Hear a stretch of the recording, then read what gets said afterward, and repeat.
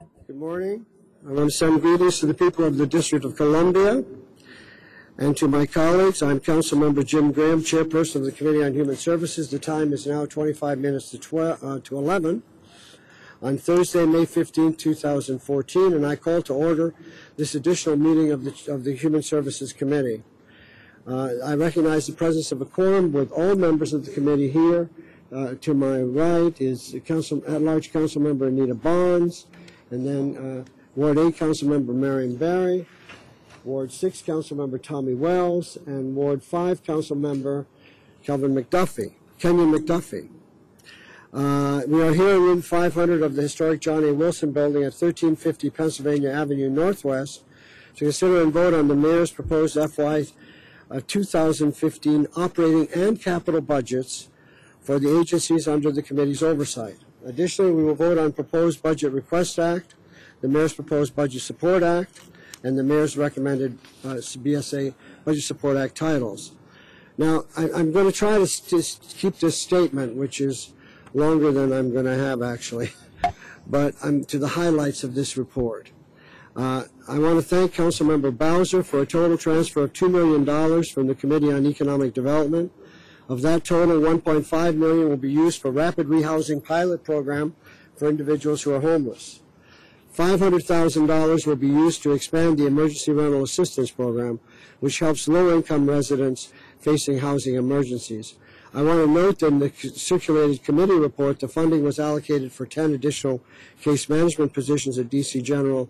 However, because the funding is not reoccurring, this is one-time only funding, uh, Councilmember Bowser and I agreed that the best use would be the Emergency Rental Assistance Program.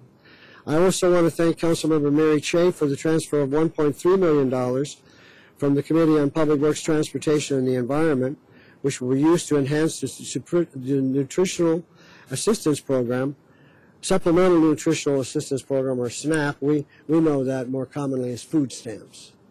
Uh, we're still working with the Budget Office and the Chief Financial Officer to determine the, the exact amount of the enhancement.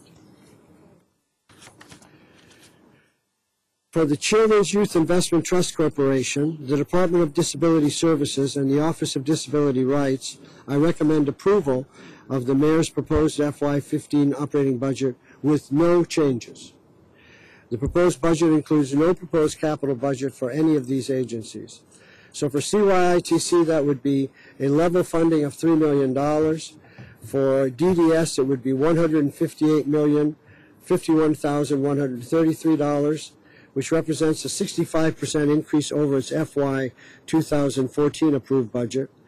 This is, this is uh, their, their budget is comprised mostly of local funds.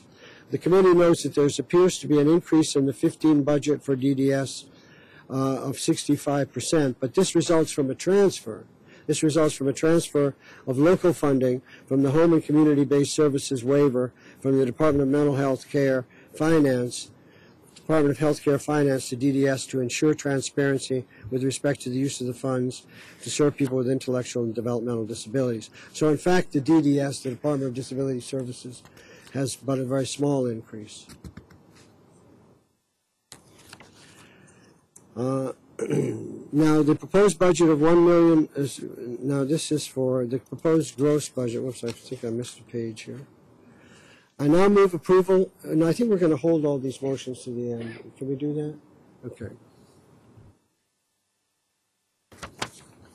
Now, the CFSA, Child, Child Family Services Administration Agency, proposed FY15 budget is 249,213,000, which represents just under 5% increase over its FY 2014 approved gross budget. The budget is comprised of $171 million in local funds. There is no FY15 capital budget for CFSA. So the committee recommends the following changes to the CFSA operating budget. Transfer $1 million from CFSA to the Department of Human Services to support the End Youth Homelessness Reform Amendment Act of 2014. This is a new BSA subtitle that will receive a separate discussion and vote. In addition, $1.8 million transferred from CFSA to the Department of Human Services to be used to expand eligibility for the POWER program. And this is an exemption from TANF cuts. Uh, to include a single custodial parent or caretaker with a child under the age of 12 months. This also is the subject of a new BSA subtitle. Transfer $50,000 from CFSA to the Department of Human Services to replace federal funds lost from a grant for family violence prevention. Transfer 96,000 from CFSA to the Committee on Business and Consumer and Regulatory Affairs to add one FTE at the Office of the Tenant Advocate. This is unusual, but I'm so compelled. I was the author of the Office of the Tenant Advocate when it was first established. It is a very important office to help tenants, you know, uh, secure and recognize and, and exercise their rights as tenants under DC law. It's a very important position, a very important office, and this position will enhance it. It's rare, though, for this committee to transfer funds to another committee, but in this case, I think it's fully warranted. This person will, will be a lawyer who will represent tenant associations in simple and complex administrative actions, provide uh, legal advice to tenants, draft legal briefs and mo- motions and other documents, speak before tenant associations and other groups, and prepare and review uh, tenant educational materials, and so on. Uh, so that is one transfer from CFSA to the Department of, to the Committee of uh, Business and Consumer and Regulatory Affairs, but to the Department of Consumer and Regulatory Affairs.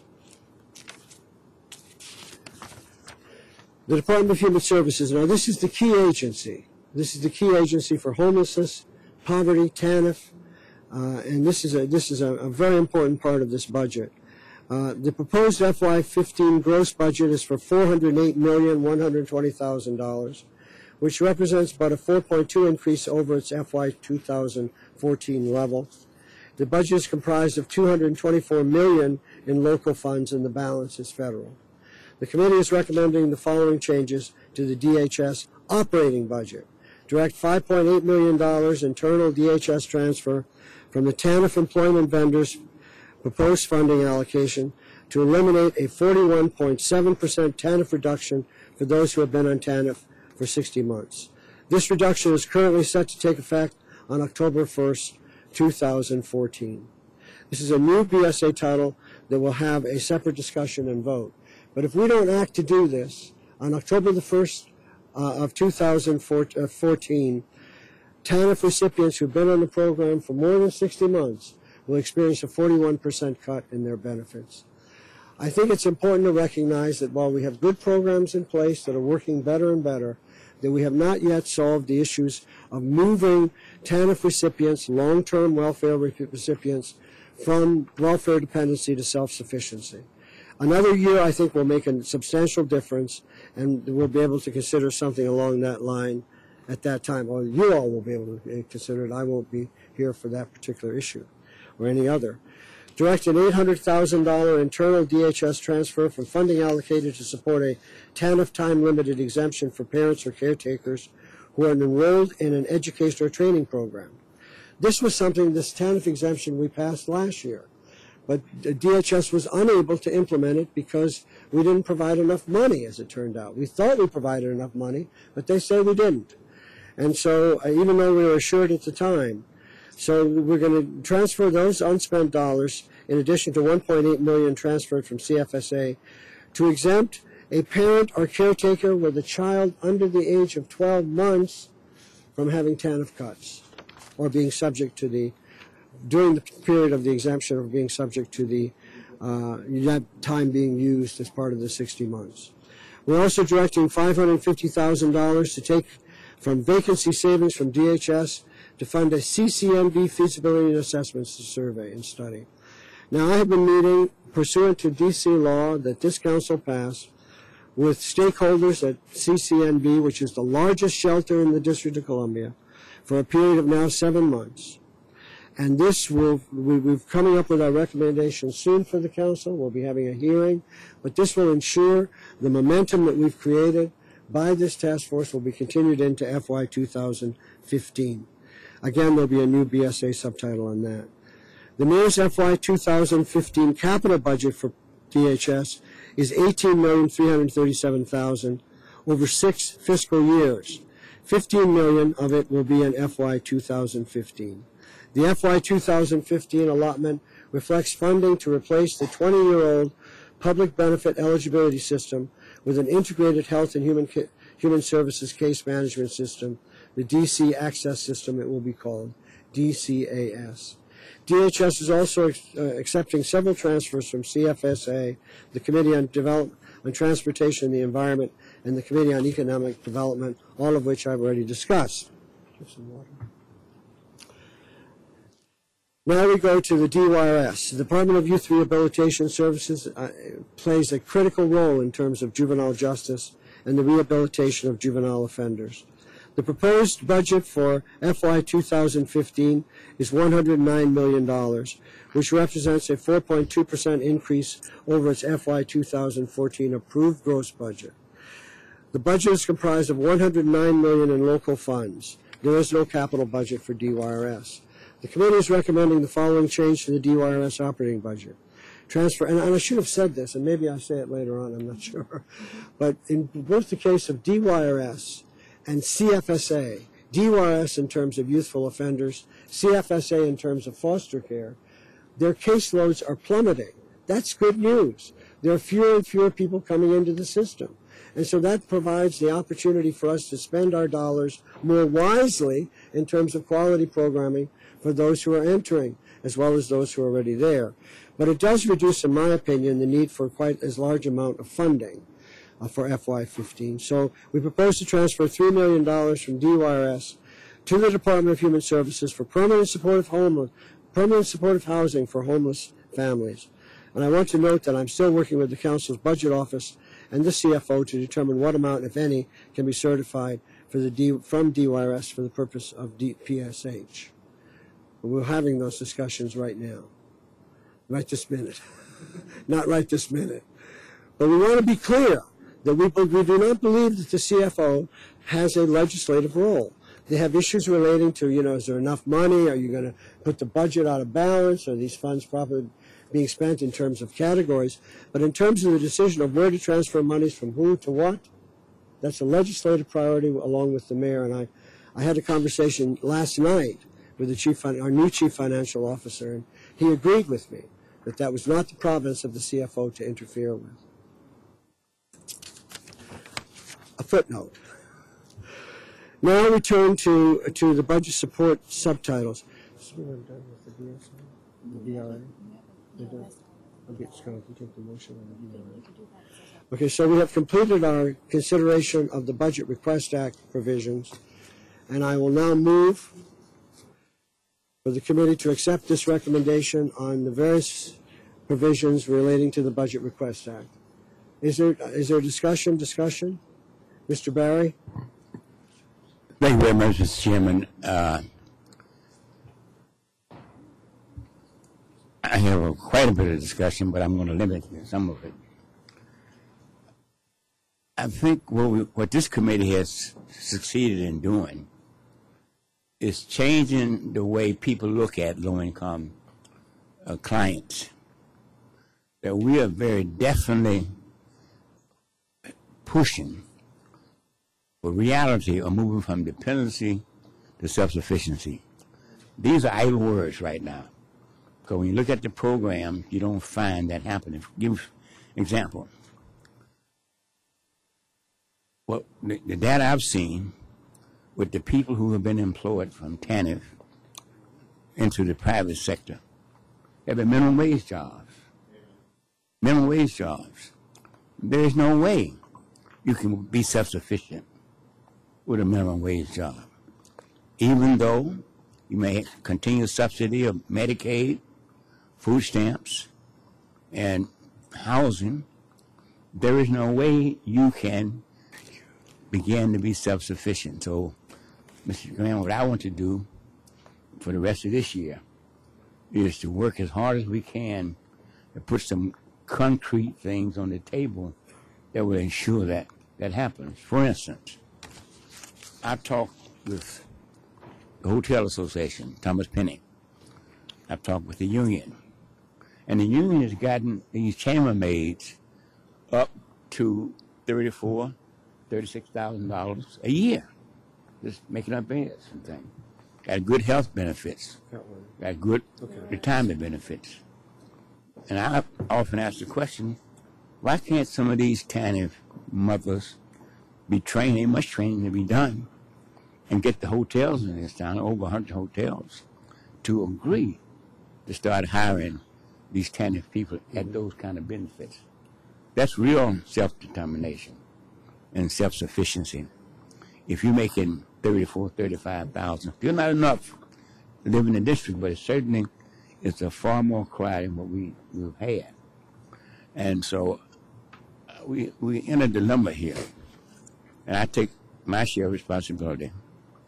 In 1995, when the national government reformed welfare system, put a cap of 60 months on it. And I was mayor at that time, my fourth term, and I slept it in the sense that we continued to fund our local program, our local monies, which perpetuated this cycle we got eight or nine thousand people who've been on the road more than 60 months. And I take full responsibility for, for sleeping that provision. But since that time, Mr. Alexander and I uh, raised the question of uh, the 60 months. And, and we found, Mr. Cameron, that there were eight, 9,000 people over there. Had been no, uh, no, uh, uh, no assessment of what they could do, could not do. It was just a total mess. And so what the committee has done is try to find a way to be humane at the same time be effective. And you've said this many times, Mr. Chairman. If we cut TANF benefits, it affects about 11,000 young people under the age of 13. And we know what's going to happen. These parents, most of them anyway, they're not going to cut out what they've been spending money on. They're going to cut it off the children's money. So you're going to have children who are victims of, of an abrupt cut. And that's why I'm so glad that you and I and the members of the committee have worked awfully hard to get the $6 million to keep people from being cut. See, all this has a ripple effect. We cut their benefits, it's going to affect their income. It's going to affect housing, probably. It may put more people into emergency shelters. And it just keeps rippling, rippling.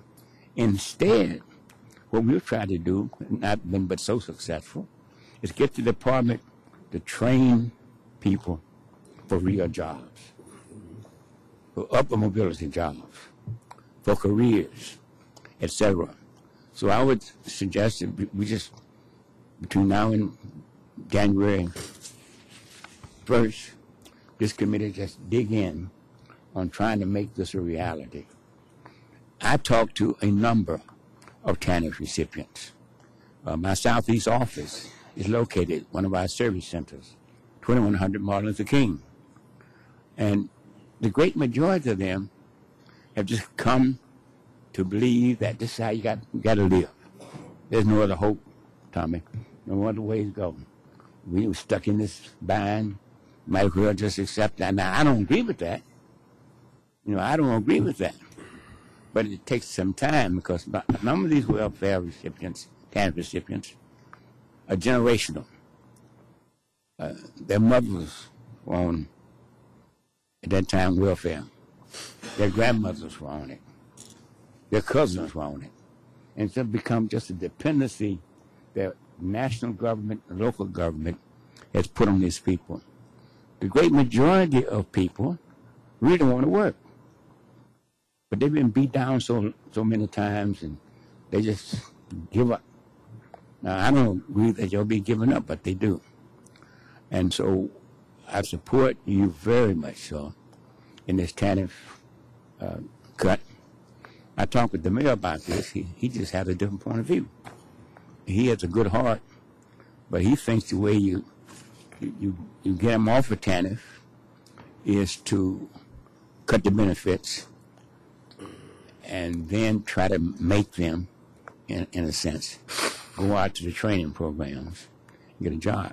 So I point out to the mayor, and I'm a supporter of Mayor, Mayor, Mayor Gray, that the private sector is not hiring these TANF recipients. Uh, some quarters will, but not massively enough. And so I'm going to go on record with that. Now, in terms of homeless, disconnected youth, the mayor put uh, what six point five million dollars in the budget, and I I'm proposing I have have the amendment written here that we take uh, three and a half million dollars out of uh, a, line in DYRS, and that gives us a, a total amount of money to be spent, be ten million dollars. That's what the advocates have talked about. That's what all of us have talked about. And in 19, in 2014, Mr. Chairman, we shouldn't have these young people out on the street, no place to go. It's hard growing up in the first place. But most of these young people, your families are headed by female heads of household. And I certainly admire those black women for doing that. But it's tough, Mr. Chairman, raising children. Jeff and I had Christopher, and we had all the means and had the money to buy this and buy that. Had the connecting power to, to get him into out of boundary schools, got him at Murch, got him at Jefferson, at Wilson. He graduated in 1998 from Wilson. But what about those people who just don't have those kind of connections? And so I intend to uh, support very strongly your initial cut from DYRS to go to the to go into the budget, and this additional one. Let me talk a little bit about DYRS. First of all, Mr. Chairman, you would be commended for just keeping the, the pressure on, because these are some of the most troubled youth uh, in the city uh, in America. Come from abusive homes in some instances, dysfunctional families in some instances, uh, victims of violence in some instances. You know, they, they, they, they probably are the most enduring people, but they've suffered the most stresses on them. Those of us who are not in that kind of situation don't understand that. We, we don't know what it's like.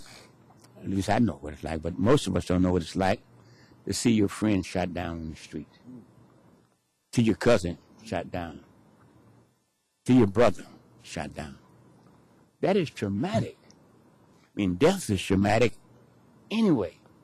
Under any circumstances, death is traumatic.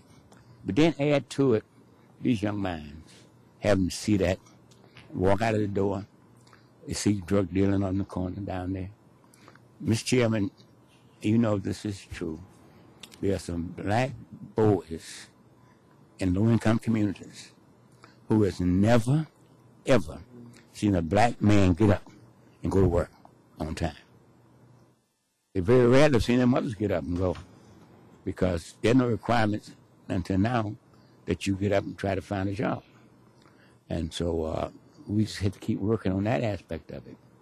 Also, there's no coordination as much as it should be between the public schools, some of the education committee, and CSFA, uh, DYRES, and other child serving uh, places. And so, uh, what I intend to do is to work with the, the budget office and work with you on getting this $3.5 million certified to go into our homeless youth. It's a crying shame that in 2014 we have young people have no place to live. They're couch surfers, living from place to place, place to place. Just yesterday, I was in the community market in Ward 8 at Mellon and Martin Luther King. And these, these two or three guys hanging around in there, asking me for a dollar, asking for five dollars. I said, well, why aren't y'all in school this time, time of day? Well, first of all, we don't have any way to get to school. Hmm? I know. I, but we got plenty of time. What are we doing? Mr. Graham. This, this is just the first one. okay, I will. I will say some other things to that. An amendment, Mr. Barry? Yes. Mr. Barry has moved an amendment. Can we circulate the amendment, please? And the purpose of this amendment, correct me if I'm wrong, is to take three hundred, three million five hundred thousand dollars from DYRS Youth and Family Programs to further uh, uh, fund the Homeless Youth Services Act, uh, which is, has one million dollars in the proposal before us today, but this would increase it to four point five million for the implementation of this of this law. Is there discussion on the amendment?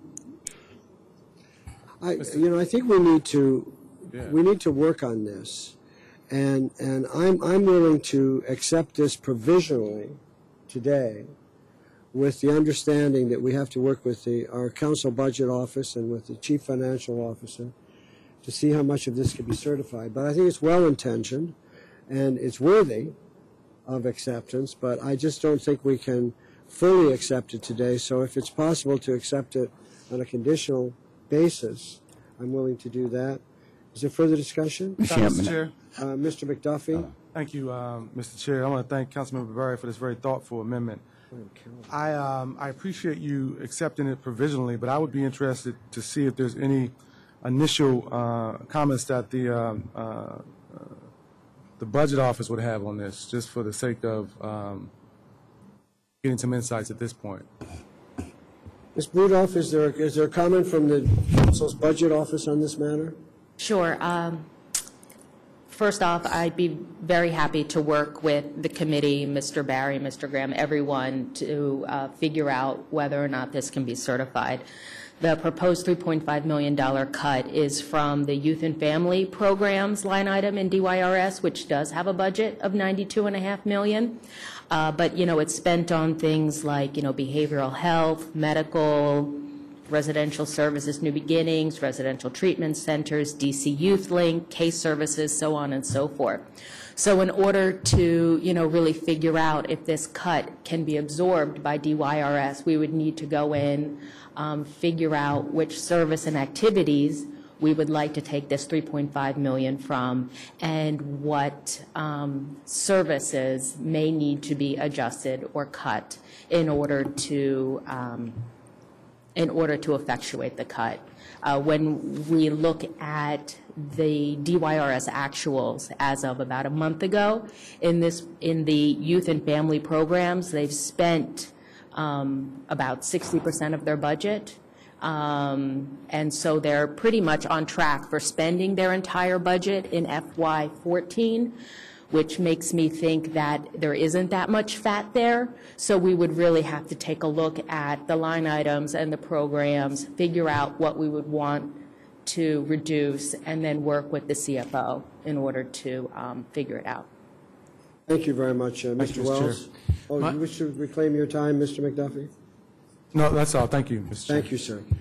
Mr. Wells? Yeah, I would need to know, know more as well, because my fear is, is that we're talking about exactly the same youth that we serve with this, these funds.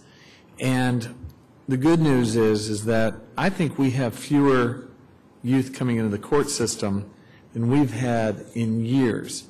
There's a tremendous amount of progress that's being made at DYRS, and Mr. Graham, you already took $3 million out of the mayor's budget for DYRS for, um, you know, for other purposes. This would be obviously another three to three and a half million. Again, my fear is, is that a lot of these services are services to youth in the community. And these are the youth that also become homeless. And I also know that we've got two lead agencies out there, two or three lead agencies out there. Three? two, two lead agencies that are to work with youth back into the community at risk. If, if they're cut, then it actually could have the impact of having more homeless youth. I mean, so I, I would need to, to understand better in Ms. Budoff's um, discussion about whether they spend their full amount, and if they're on track to spend their full amount, then that means we would actually be cutting services, and I'd like to know what would be, what would be cut. So that, that's why um, I agree with you, Mr. Graham. I'm not fully prepared for this because I think that, again, it's, um, it may be cutting services to the same youth that we're trying to serve. Thank you. Yeah. Mr. Barry? Chairman, thank you very much, Mr. Chairman. Uh, I agree with uh, Mr. Wells in terms of making sure we're not cutting that which we want to fund. The problem is that we've been up against the pressure of finding money for the homeless youth. And I had scheduled a meeting day before yesterday with Neil Stanley just to go over this because I'm not the kind of person that wants to just really nilly cut and not knowing the consequences of what it is. Uh, he's supposed to come at two. He thought he was supposed to come at one. So at two o'clock, uh, I was told that he, he'd been ordered not to come. And I don't get into back and forth who ordered. I know who ordered, but I'm not going to say that. And so therefore, and I think I have some information uh, from uh, Ms. Jackson's office. So I, I think we all work together. Mr. Wells, it does not necessarily have to come from that line if it's not feasible. But there, I'm sure in a hundred and nine million dollar budget, you can find something. DYRS had a thousand young people two weeks, two years ago. Same level of budget. Today, thanks to the hard work of this committee and, and Neil Stanley, we're down to 500 people. So uh, I can count. It amazes me that if you, if you got half the population and don't have any cut in the budget, something's wrong here. Something is wrong. And, so, but we, Ms. Rudolph, we work, Mr. Wells, all of us can work together. Uh 'cause we don't want money being sent back that we know needs to be spent. And you're right, Mr. Wells, maybe there's some of the same people. So I'm very careful about that. I'm very careful about that. I don't just with the hatchet job. I try to cut surgically so we know what we're doing. But I'm really disturbed, and the mayor, I think, straightened it out. I'm really disturbed at the deputy mayor Terrell seems to be ordering. I don't know for a fact who ordered it, but she seems to be the one that ordered uh, Mr. Stanley not to come. And I tried all afternoon, before yesterday, to reach her. And she's always busy. I think it's outrageous that a deputy mayor won't find the time to discuss with a council member whose committee he's on to do something. I finally talked with the mayor about it before yesterday. He assured me that going forward, we'll have the information. I probably have some of it now, but not, uh, I'm not sure what it says. I want to thank Ms. Jackson. She worked hard on trying to get this going together.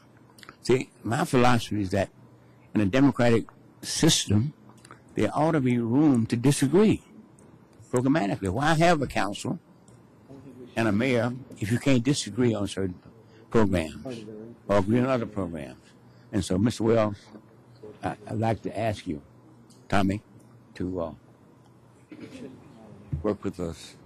Tommy, I'd like for you to work with us on trying to identify this money. And if it's not there, I certainly won't propose it.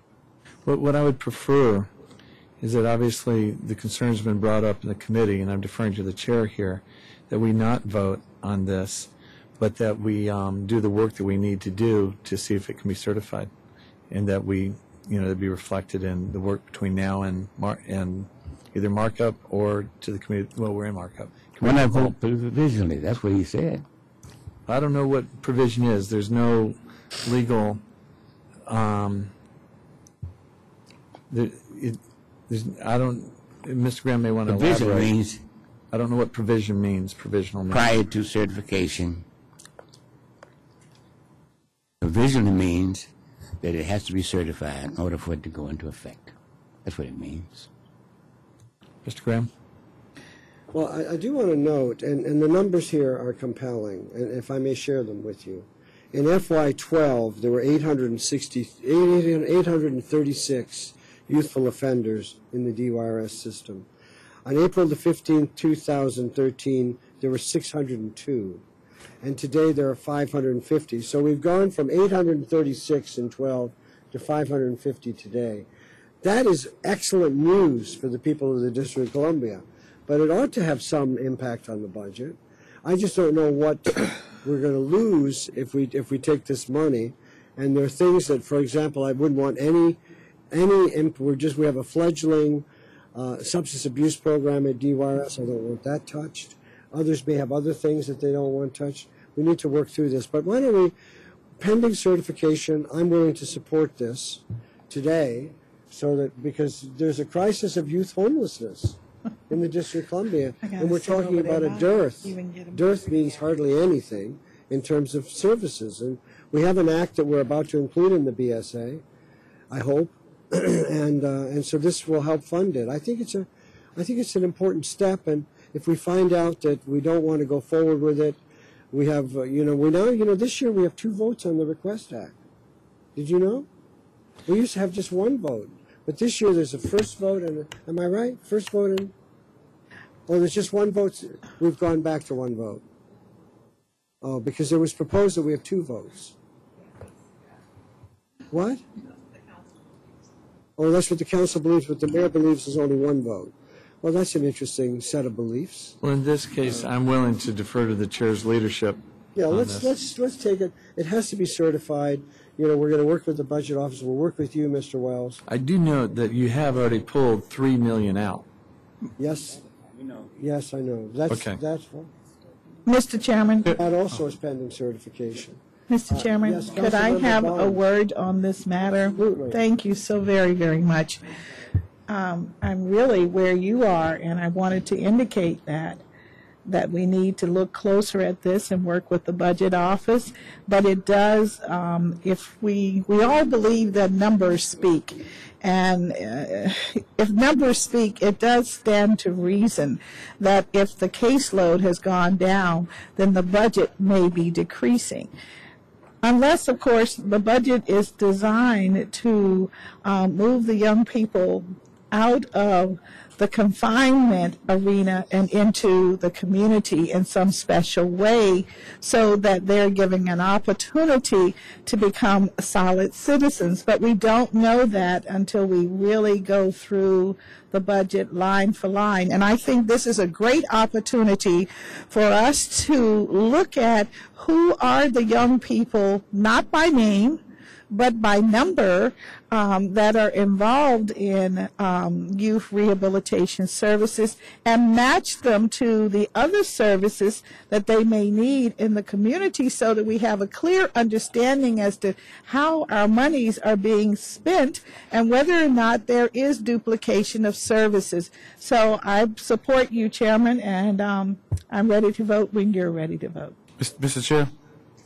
Councilmember McDuffie. Uh, Thank you. Um, I just want to, just to make sure that I'm clear, and and I understand your, your, um, your goal here with this amendment is to accept it provisionally. Uh, And the goal, again, is to work with the Budget Office uh, to make sure this gets certified.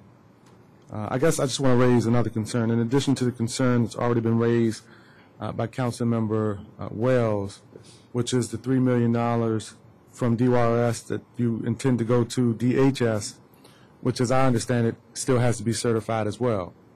So the 3.5 million in this amendment is on top of the initial 3 million, and it also will have to be certified. All right, so, so to the extent that happens, then, then obviously I'm supportive of it. I just want to note, though, I, I do have concerns about um, where the money comes from. and the potential impact it has on staffing ratios at DYRS, particularly as it relates to the Jerry M. consent decree. I would not want to do anything to jeopardize what uh, is a court-ordered uh, decree that requires certain staffing ratios in the event that there is a spike. I do appreciate the numbers that you laid out, and it's very encouraging that there's been such a drastic uh, decrease in youth over DRS, and, I hope that trend continues. But I just wanted to make sure that, that it's clear on the record that there's some things that are beyond our control that we have to make sure that we don't jeopardize uh, as we contemplate uh, this amendment and what we do with this budget. Thank you. Thank you very much, council member. Is there further discussion? Hearing none. All those in, Chairman, I I haven't finished yet. well, we're ready to vote. I am, I'm ready to vote after I make, Probably would be willing to take yes as an answer. Mr. Chairman, and for other members of the committee, let me just be very clear. I tried desperately to get Mr. Stanley over to my office to sit with Mr. Run and myself, to go line by line, what has been spent, what's proposed to be spent, and do it surgically. But he was ordered, and I said it appears by Deputy Mayor Terrell, not to come. I was insulted that a council member can't have a discussion and talk with the mayor. And the mayor made a point. He's instructed all of his department heads not to be making deals. I agree with that. But how else are we going to act, Mr. McDuffie, if they, if we don't have the, the information? We did this historically, so I'm open. I want to work. Mr. Graham, we work together. Um, get in the budget office and look at all these. If, if it's in some other place in DYRS, that's fine. But I have a serious problem with having cut the population down to 500, which is commendable, and have the same size budget. That defies logic to me. So uh, we'll work on it. I'm ready to vote. Thank you very much, Mr. Barry. Mr. So, Chair, right before we, uh, if, if I could, Mr. just briefly. It, would it not be uh, perhaps more prudent to, to hold off on this until we've had an opportunity to have this conversation next week uh, when we meet and maybe do this at a later date uh, as opposed to moving forward with it before it's certified by the CFO's office? Um, particularly given that we still have uh, what you intend to do with the initial three million. That that's still a question that, that, that lingers at this point. I don't know how wise it would be for us to, to, to do that at this point. That'd be my preference um, to hold off on this. Well, I, I really appreciate that point of view, but I think we already have three million, which is subject to certification. And this, quite frankly, was the conversation I had last night with the CFO. Because the CFO's office is asking for, quote, further justification. And as I said to the CFO, I'm not willing to provide justification. That's a decision for this panel to make whether a transfer is justified or not. And I said to the CFO, if you have other issues, let's consider them. And he agreed. He said, we, it's not our business to examine your justification. Like, that's the exact word that was used. And so we're having a little bit of a back and forth here. But I'm, I'm now confident that we're going to be entering into this discussion with the support of the CFO because he doesn't think it's the business of his office to examine justifications for transfers. Uh, that is, uh, that's our business. And so, uh, with all due respect to Mr. McDuffie, I think this joins another $3 million, and so we can have six five, 6.5 million to consider uh, as to whether or not the CFO will certify it. But I don't want them certifying it on the basis of whether there's a justification or not. You understand what I'm saying, Ms. Budoff? Yes. Did you have a comment on that? You don't have to make a comment. You just had a look on your face that said, let me comment. Am I reading too much into your face? No. Oh, okay. No comment. All right. So let's let's put it on the table, because I know how much you care about youth homelessness, Mr. McDuffie, and I do too, and all of us do. And if the money is needed at, at uh, DYRS, we'll hear from DYRS. They'll make the case. If not, let's let's let's fund this uh, youth homelessness uh, legislation that we all support. There being no further discussion, all those in favor say aye. Aye. Aye. Opposed, no. Abstentions? Then we report this, amen- this amendment is adopted by unanimous consent, subject to the, uh, sub- subject to the discussion that we've had on it. Uh, We now proceed to, oh, no, we now proceed to the main motion on the Budget Request Act, the budget, that is, of the Human Services Committee. Is there further discussion on the budget? Mr. Wells? Mr. Graham, I don't want to take too much time, but I just want to say that, that your responsibility in this committee oversight is the hardest job on the city council. And when you take this budget and you look at the conversation we just had, do we take money from these youth in need to those youth in need is the metaphor and the example of what you have to do with this budget. It is, again, one of the hardest, it is the hardest responsibility on the city council. And I know because I've done it. And you have done it, and you and your staff, particularly Ms. Barlow, have crafted a budget as best that which you work with. You've moved some priorities around, and during your oversight, the numbers have gotten so much better for young people that are in the child welfare system, so much better for youth that are in the juvenile justice system, that there's been marked improvement among youth since your oversight of this committee. And additionally, there's been other problems that you've had to shift priorities to homelessness for young families, and now homeless for youth.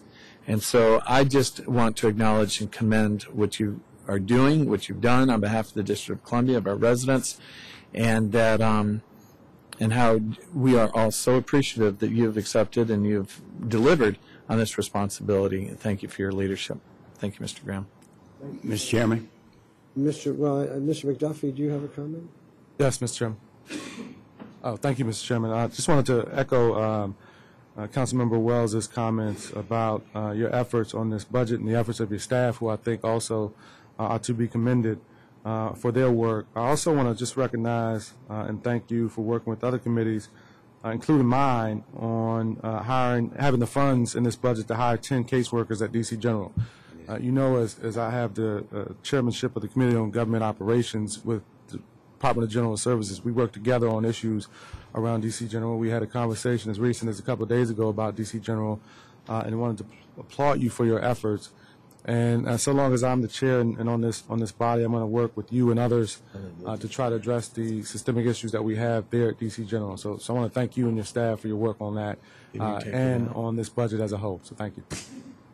Thank you very much, Councilmember. Uh, m- m- Councilmember Bonds? Yes, thank you, um, Chairman. I haven't had the privilege of working with you but for a few months, but um, I I feel your heart. I think the community feels your heart, and I know that the mayor feels your heart. Um, it's a very tough job that you've had over these months to um, balance things and make sure that those who are the least amongst us um, have the kind of guidance that will help them go on and have a full, productive life. And you are really to be commended for that. And I mean that sincerely.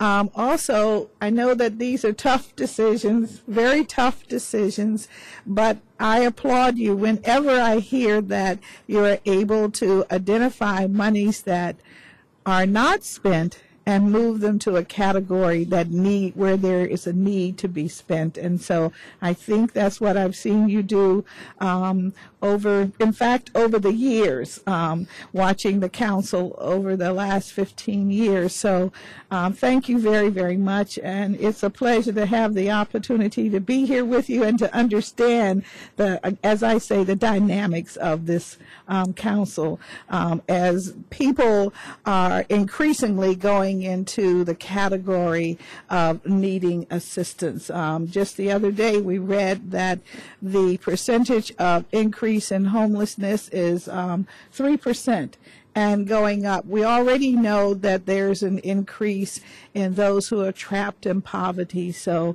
we have to do everything that we can to assist um, as much as we can with the resources that we have. And so I say to the, the city, you know, bring on the cranes, bring in the new people who um, have resources and who are going to pay um, taxes and spend, spend, spend um, so that we can help those who are trapped at the bottom and make a difference in their lives as well.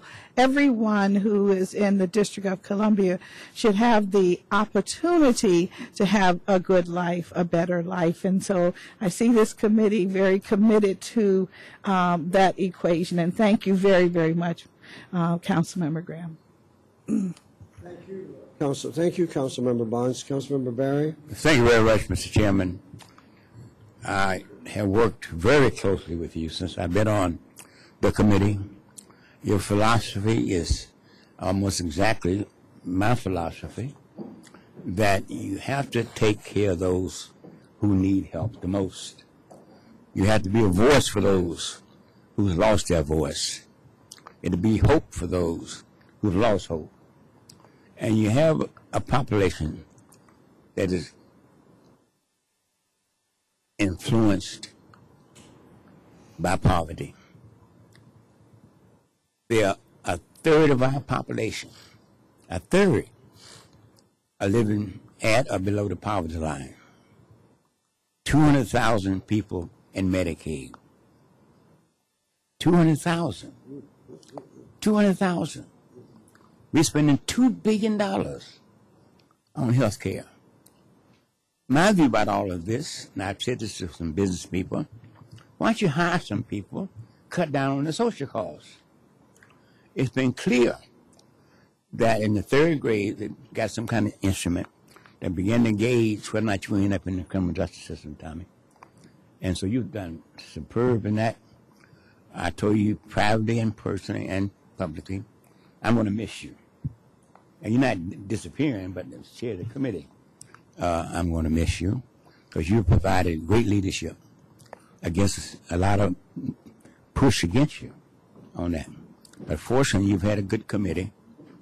We have a different opinion from time to time, but uh, we all have the same goals. How do we get people out of poverty? How do we get people self-sufficient? How do we let them become part of, of, of the moderate to middle income, own their homes, send their kids to college? The same thing that all Americans want to want to do. And one final specific thing as it relates to TANF. As you know, I supported the mayor for mayor, but I gave him an agenda. I gave him a list of things I wanted him to support. And one of them was TANF CPIs. They hadn't had that since, I think, 19... Country, when the last time we had CPI? We hadn't had a CPI change since 1996. The cost of keep cost of living increase is gone. So fortunately, the mayor put in for this year a cost of living increase. The same thing for next year. In 17, he's proposing a 41% increase in TANF payments. Uh, I've been trying to figure out how to raise that payment level. Uh, it's tied to food stamps. I've talked with the Undersecretary of Agriculture. So all this fits in together. Let's get our people out of poverty. Those who are born in into poverty, it's not their fault. God decides when you're born, how you're born, where you're born, what color you're born. So these, least among us, are not responsible for their plight. Now, many of them are responsible for what they do once they get here, but not because they were born into poverty. The way you get children out of poverty is get their parents out of poverty. That's how it goes. And so we got our work still ahead of us uh, because the budget is not the only thing that we work on. We work on trying to increase coordination between these various agencies. Uh, we, insurance is involved here. Dropout rates involved. All this is involved. And so I want to thank you for your leadership. Uh, and not just not just started this year. Your leadership has been there for a long time. And when I met you, I think you were at Whitman Walker, uh, when the HIV AIDS virus was sort of a no-no that the people shouldn't be messing with that.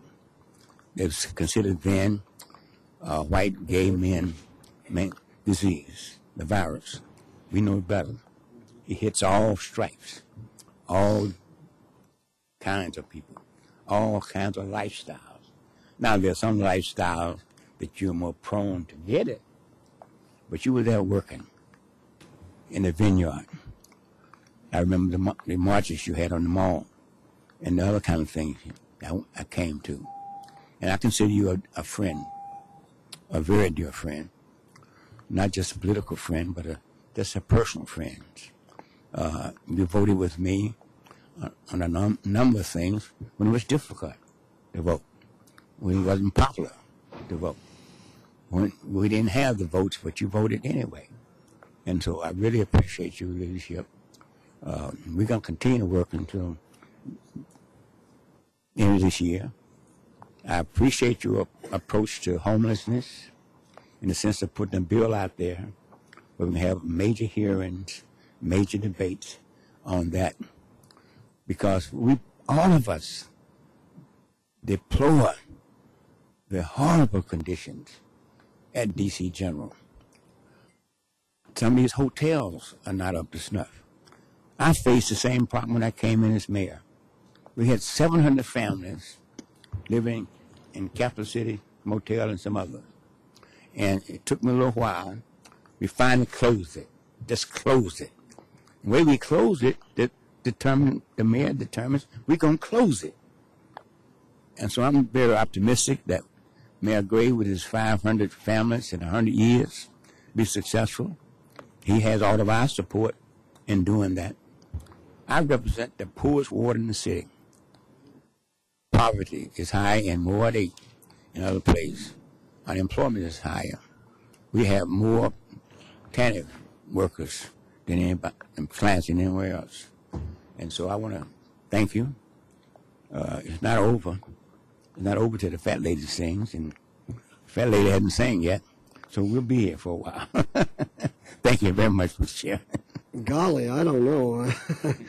uh, thank you very much. this is a great committee. This is a committee with a heart, and in a city with a heart. and uh, we're about to vote. Excuse me, I'm choked up. Thank you, Marion. Thank you. Uh, and we're about to vote on the on the committee on the budgets within the committee, which total I think pretty much a billion dollars. The uh, uh, it's a lot of money and it's a lot of responsibility. I, I'm, I'm reminded of something that Helen Keller said, which is that it's very difficult getting those who have everything to care about those who have nothing. And as we vote on this, which I think will probably be a unanimous vote, that gives us five votes going into the council. We need two more votes to hold on to this budget, which I think is right thinking.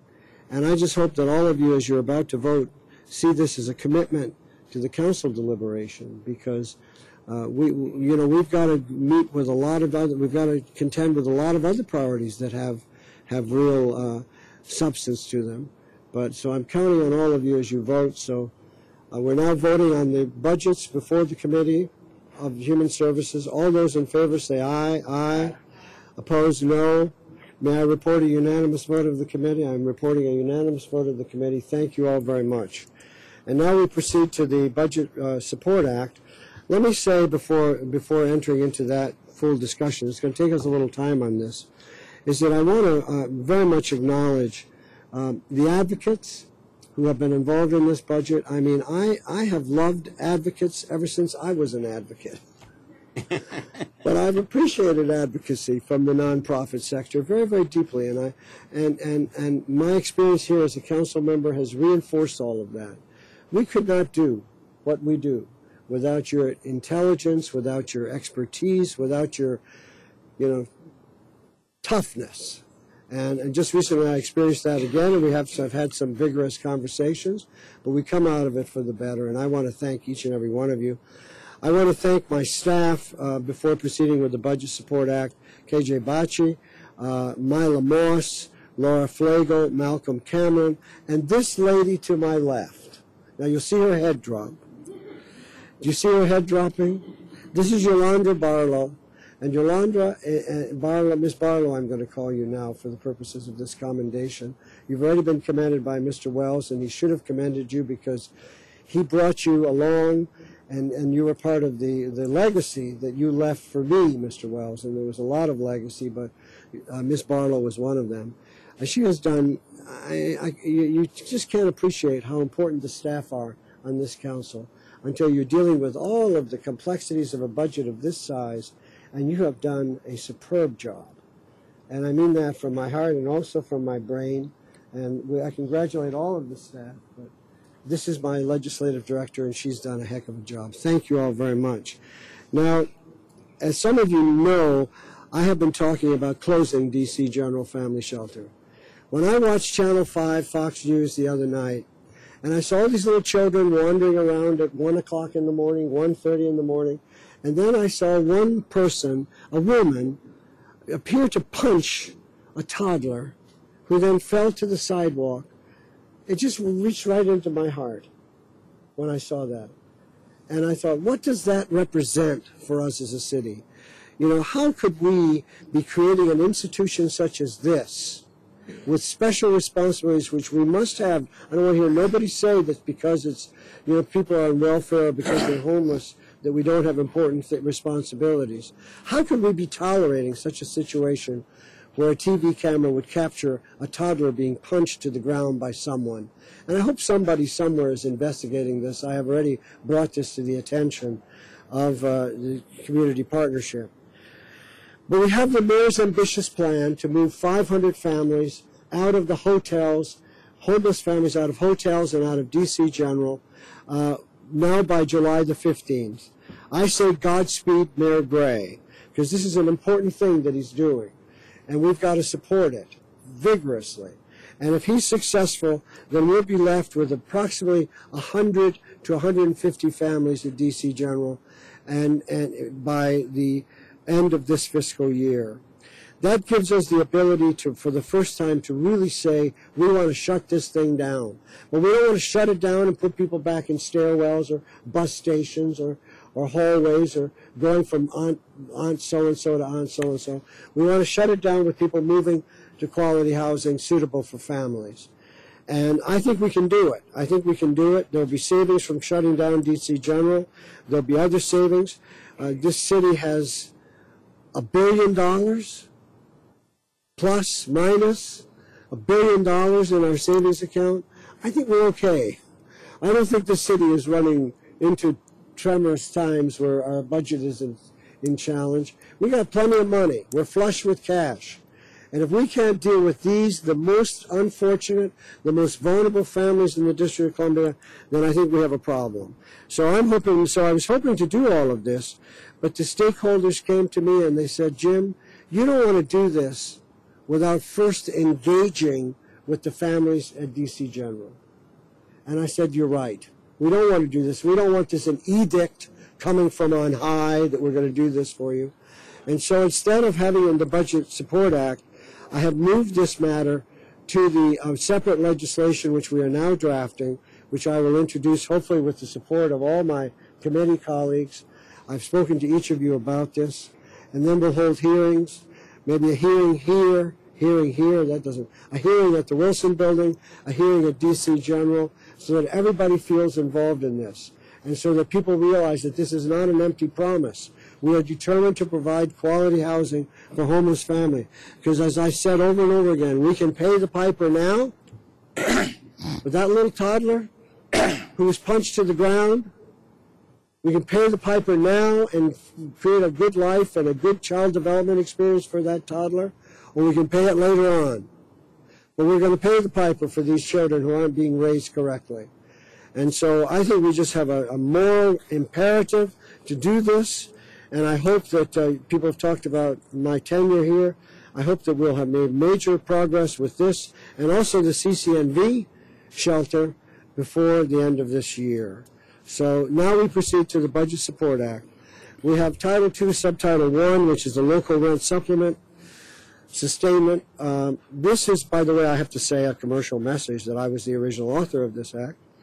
This proposed subtitle from the mayor expands the discretion and independence of DHS to fill all new and vacated local rent supplement program vouchers. The current law requires the slots be filled according to priority and referral system established in district regulations. This amendment would remove the priority classification and allow DHS to have full discretion in determining the system for filling slots. In the circulated draft of the committee report, there is a tentative recommendation to support this. But after conversations with Councilmember Bowser and members of the advocacy community, there really are concerns about this language. And we want time to reflect on all of this, so it is my recommendation, it is my recommendation that we disapprove this title for present purposes. Is there discussion, discussion, discussion? Discussion, Mr. Chairman. Mr. Barry? You know, you and I have talked about an approach. None of us, including Mayor Gray and others on this council, don't disagree on the end. We have some difference of how you get there. And I, I support your efforts to have separate legislation because what happens, rumors start spreading. You told me you were at DC Family Center and the families were all nervous and upset. And so this will allow eh, uh, broad participation and would also allow those who've not been involved with the problem to step forward, like the business community, the apartment owners, and others who have housing and refuse to rent to low-income people. So this is a great approach, and you can count on my vote on this. You can count on me being at the hearing, as I as I am with most hearings, and I would urge you to make sure all of us are, are engaged. It's not just your problem, or mine, or Ms. Barnes. It's all of our problem. It's all about responsibility. And so this is a wonderful approach. It cuts down the confrontational kind of thing that goes on time to time. Ending homelessness is a major problem, a job. It's tough because the homeless population have a number of underlying issues. A lot of underlying issues. Some of them have emotional problems. Some families have been victims of, of uh, family abuse by men in their, in their lives. You got all kind of things going on. So at least this committee can give people a sense of hope, a sense of ending this cycle of dependency, a sense that we care. You know, I, I, I had a friend of mine one time said, it's better to show that you care than say you care. And I want us to show, want us to show that we care. The, the persons we're serving don't have many voices. This council committee has to be the voice. This council committee has to take responsibility. I intend to start visiting a number of shelters myself. We need a comprehensive approach. We need to figure out how we have four or five smaller CCNVs. To have 13, 1400 people packed over there is ridiculous. But it's all they got right now. We have three, at 301 East uh, Drive in St. Elizabeth, they have 300 people over there. And it pains me, Mr. Chairman, if, if I, and I do often, I ride down Martin Luther King Avenue around 7.15, 7.30, you see guys sitting in benches. They've been put out of the shelter at 7 o'clock. That's inhumane. I want us to get to the point where we get the underlying reason of poverty, the underlying reasons of why you are homeless. It's a massive problem. But I've learned if it's massive, it takes massive work. It takes commitment and dedication. So you can count on Marion Barry. I've been there a lot since I've been in this city. I'm going to resolve myself to do more My health is, is improving greatly. I'm about 90% back. And my mind just as sharp as it it has been. But thank you, Jim, for this approach. This is a great approach. And uh, I discussed this situation with the mayor night before last. And he had heard through the grapevine that you were going to introduce a, a amendment to the BSA requiring that the shelter be closed by December 31st. I told him, I said, Jim Graham is a reasonable person. He would not do anything to jeopardize those families at DC General. And your approach uh, does that. We need to get the city go- government put more money in here. We spend money on everything except that which we ought to spend it on in terms of homelessness, poverty, job training, etc. So thank you, Mr. Chairman. I don't want to turn this into a love fest, but I do want to say this, that there's no, there's nothing wrong with a love fest, actually, but, you know, I, I like them when they occur. But there's no individual in the District of Columbia who has contributed more to human welfare and dignity than you have, Mr. Mr. Mayor, Mr. Marion Barry Jr. And, and it it just, for me, that, that statement sums it up. I, I, I just can't begin to describe in any kind of detail the impact you've had on people's lives and the quality of people's lives in the District of Columbia. So, but we have to move on with the business before us. So I'm going to move to disapprove this subtitle two, subtitle one, which you will recall relates to the issues of DHS and the local rent supplement program. Uh, is there discussion? Is discussion? Hearing none. All those in favor say aye. Aye. Opposed? No. I'm going to report a unanimous vote of disapproval on that. We now move to Title V, Subtitle A, which is the DDS Management Reform. This particular amendment clarifies the authority of the Department of Disability Services to work with the Department of Healthcare Finance in order to better serve individuals with intellectual and developmental disabilities and their families by improving the design of existing policies and utilizing the agreement between the two agencies to positively influence rate setting for services. Um, there are a number of, uh, this amendment is before you. I'm not going to, uh, I, I do want to say the committee supports, I support the proposed subtitle. Uh, we have presented several technical and conforming changes.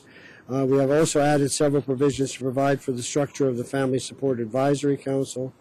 And, uh, and so I'm going to proceed without separate votes on all these amendments and have a, a general vote at the end because there's a number of these. Uh, and if you, if anybody wants to go back to a specific uh, amendment, we can do so. The next one is the uh, subtitle on on on uh, Title V, subtitle F, proposed by the mayor, which would increase the low-income home energy assistance program Heat and Eat initiative benefit from one dollar to twenty dollars. The increase will ensure that supplemental assistance nutrition participants who are eligible to receive higher benefits uh, if they receive emergency assistance, continue to receive the higher SNAP benefit level. This is food stamps. So this is an increase in the food stamps. And uh, we support this uh, amendment, and I hope that uh, the committee will support it. The next one is um, Title V, Subtitle H, which is temporary assistance for needy families, cost of living adjustment. This is a bill that uh, uh, Councilmember Barry introduced. I was pleased to join with him as a co- co-introducer. And this, this provides um, a cost of living adjustment. And this committee report reflects the mayor's proposal that that be funded for TANF recipients. It's long overdue. We haven't had a, a cost of living uh adjustment for TANF recipients for a number of years, and this will help them make ends meet. Uh, so uh, the committee has provided some technical and conforming language. Uh, now I'm going to continue through the whole thing. Okay. Uh, now we have new BSA subtitles that we are presenting. One is the CCNV Feasibility and Assessment Study Act of 2014. I introduced emergency and temporary legislation establishing the CCNV Task Force back in 2013. This council approved that measure. We've had a number of meetings of the task force, and we need to have a better understanding of some of the housing and space needs at CCNV and connecting facilities. Uh, we need that analysis, and we have running, we're running out of time, so I think we would now be benefited by professional assistance, that is paid assistance, to help us go through those issues. Uh, the recommendations of the CCNV task force will be before us soon. This is the largest shelter in the District of Columbia, folks. This is 1,300 people a night in one location. Mitch Snyder, this is the great legacy from Mitch Snyder and all of his work for homeless individuals, single adults. So we consider and address the need for a new facilities to replace the uh, current building and a number of other areas. So this $550,000 will move this along and keep the momentum going.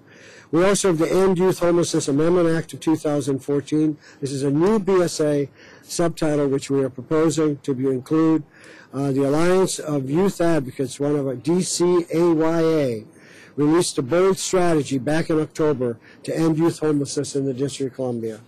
Uh, and we, they called for a new commitment to end, end this form of homelessness.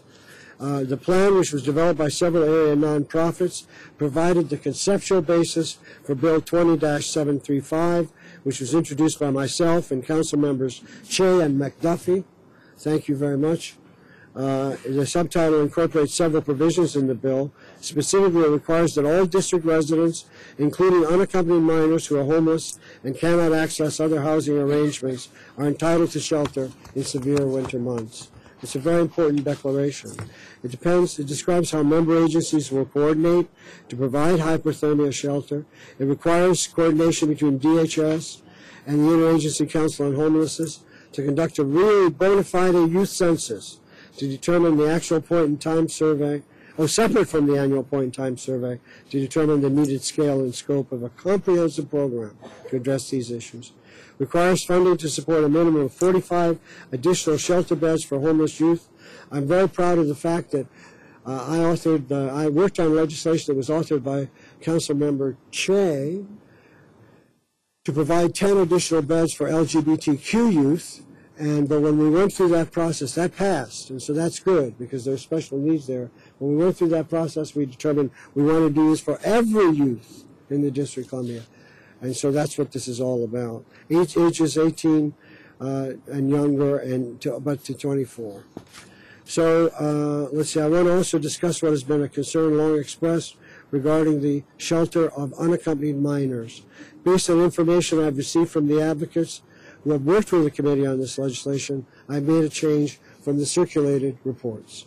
Strike section C2, page 77, that gives unaccompanied minors the right to shelter, adding new language that would require the district's winter plans developed by the ICH to include a protocol for addressing the shelter needs of homeless unaccompanied minors.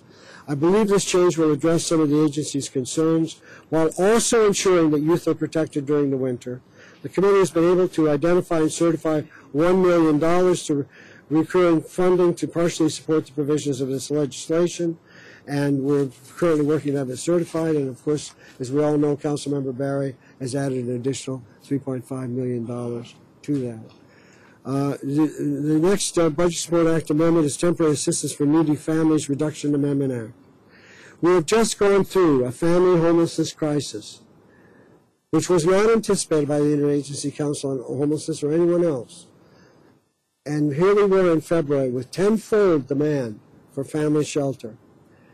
But we, at the same time, we're planning by law to cut TANF benefits on October the 1st, 2014 by 42 percent for families that have been in TANF for more than 60 months. This amendment that I propose today requires that there will be no TANF benefits will provided will, be the subject of cuts on October the 1st. The committee has been able to certify the necessary funds to stop the cut in FY 2015 by shifting resources from the TANF employment program, which I, the mayor is proposing a TANF employment program budget of $40 million for FY15 compared to $18 million today, and so I think this can be sustained. The committee has long expressed concerns, subsequently opposed, and led successful efforts to delay the previously scheduled reductions to TANF. Everybody wants people to move from welfare dependency to self-sufficiency. Everybody wants that. But we've got to have programs in place to ensure that that can happen. We've got to do it. And our programs are better and better, but the fact of the matter is they're not ready to really do this. And I think also of the 11,000 children, Mr. Barry's already made reference to this, 11,000 children under the age of 13 who I believe who will be subject to these cuts, who I believe will be the real victims of what's going to happen. Because they will be the ones that will lose out by 42% cut in TANF benefits affecting their parent. The committee recognizes that imposing steeper cuts into already poverty-stricken households will only achieve the goal of perpetuating poverty, the effects of which have been well documented. And the effects of poverty on child development are, are fully understood at this point. With a total local funding of $29 million and a federal allocation totaling $10 million, the TANF employment program, as I mentioned, has a $40 million proposed budget for FY15. Although the committee has supported and has encouraged agency efforts to redesign that program, there are concerns, as I mentioned, about the effectiveness.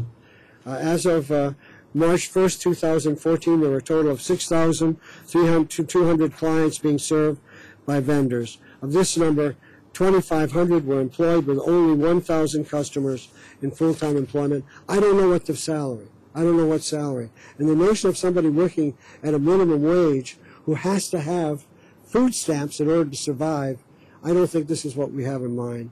Of the 8,388 customers referred to employment vendors, 4,900 were not engaged at all. So we're not reaching these people. The committee acknowledges that there is progress, but there's still significant barriers to employment experienced by many TANF families. These outcomes raise questions as to how well our vendors as a whole are working to meaningfully connect families, identify their barriers, and assist them in getting jobs. So, that leads me to conclude that we don't want a 42% cut of TANF benefits on October the 1st. Uh, We also have an amendment, the Power Expansion Amendment Act of 2014. Uh, This would exempt from TANF cuts uh, a single custodial parent or caretaker with a child under 12 months old, a baby in other words, who should not be subject to TANF cuts and should not be subject to the time tolling for TANF for, for the 60 months. Uh, now, now, no, no parent may remain eligible under this paragraph for more than 12 months. I've fought for an exemption for this population since I first uh, introduced the TANF time limit bill in 2012. My conviction is that this is the right thing to do for babies, and that is supported zero to by Zero to Three, a nationally recognized nonpartisan research and policy organization that studies child development issues. In July 2010, Zero to Three issued recommendations to the federal government related to children under the age of three. Their number two recommendation was, quote, require states to exempt single parents caring for a child under the age of one from TANF work requirements and time limits. That is time for the parent to be with the baby. It is not the time for a parent to be working about, worrying about cuts on TANF. We have certified, we have had certification for $2.6 million to provide this exemption in FY 2015.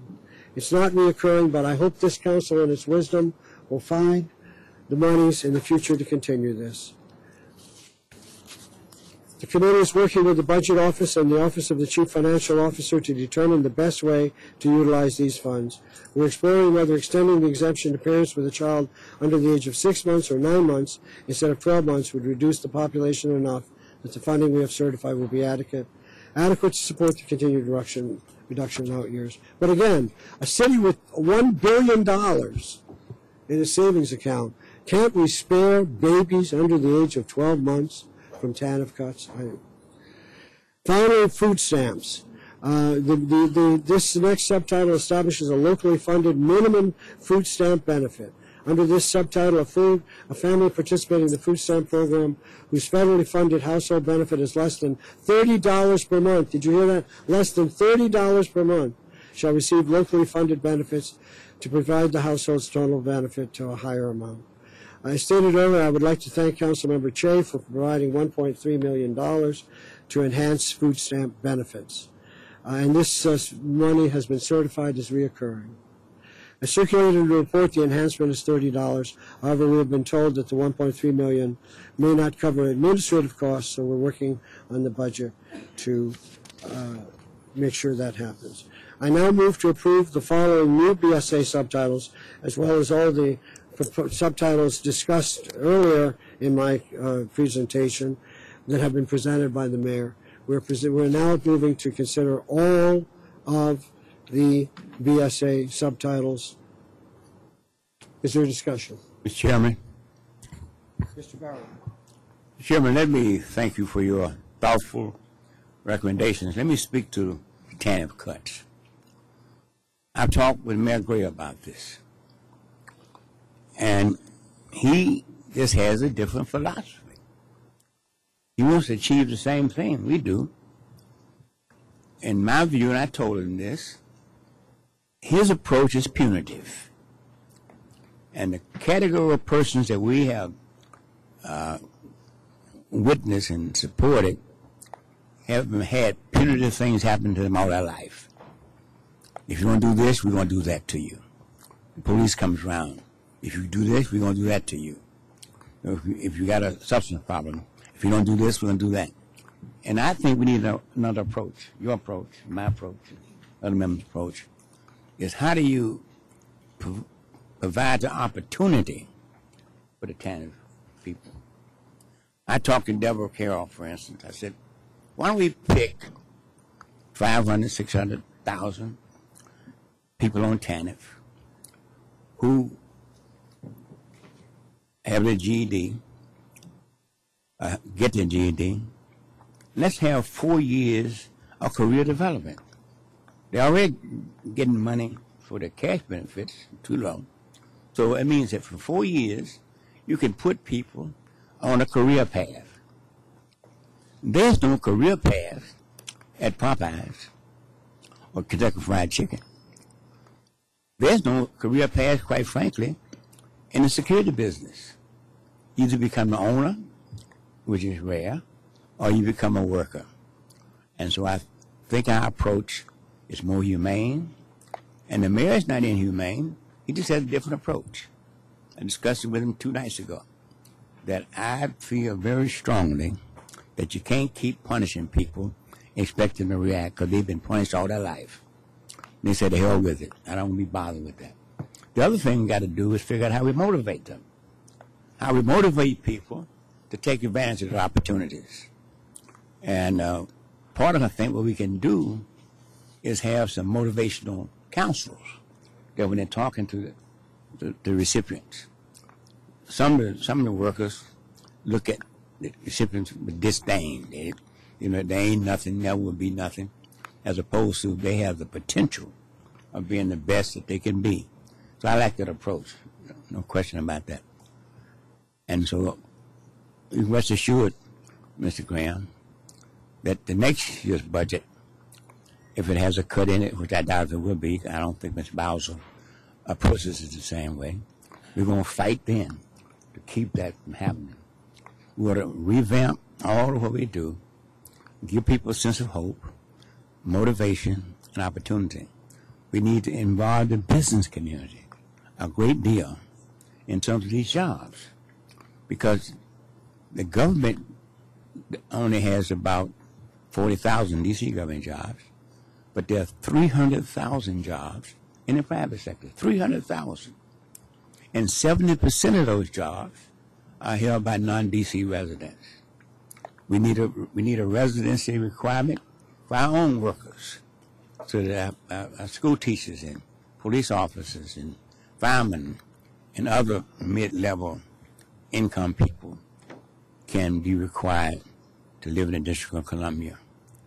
And finally, I think the last thing you we, we talked about was the children.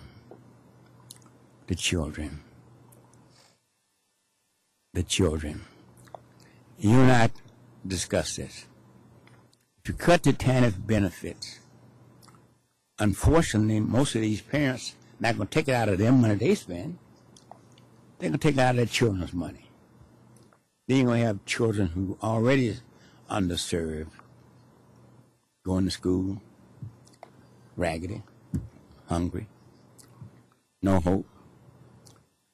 Now, one thing I, I want to point out to this committee, I'm on education, the chancellor is going to initiate a program to try to keep black boys out of this system of going to jail, etc.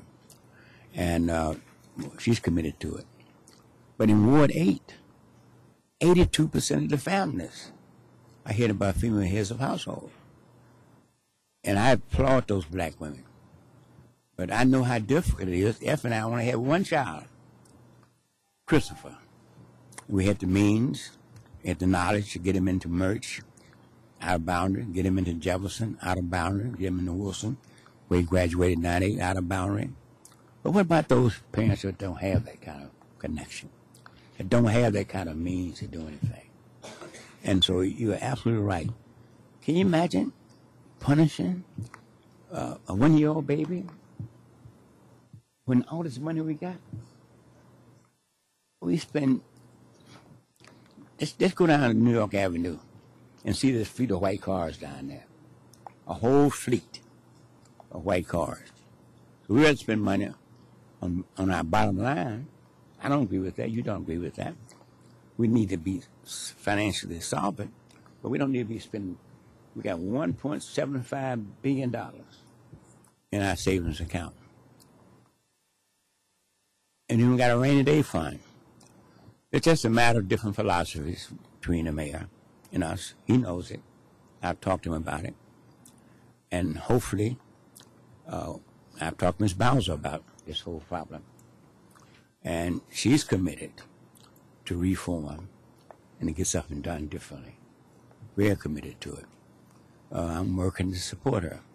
So, Mr. Chairman, I get kind of choked up a little bit, like you do, when I think about these young people out here with no hope, a little hope, with no direction, a little direction. And so, uh, those of us who have a heart, it's hard to take this, you know but you've done a remarkable job. So I support all the, all the amendments, and I'm sure my colleagues will do the same thing. But uh, these are tough times for poor people. They're catching more hell now than they've caught in a long time. And people who are low income, they watch television, see all these shiny cars and all this fast life and these uh, good times people are having. They said, What about me? What about me? I'm not responsible for being born in poverty. So the government has a responsibility to create opportunities to permanently solve this problem. If we don't do something differently, we come back next year with the same problem. Don't cut TANF.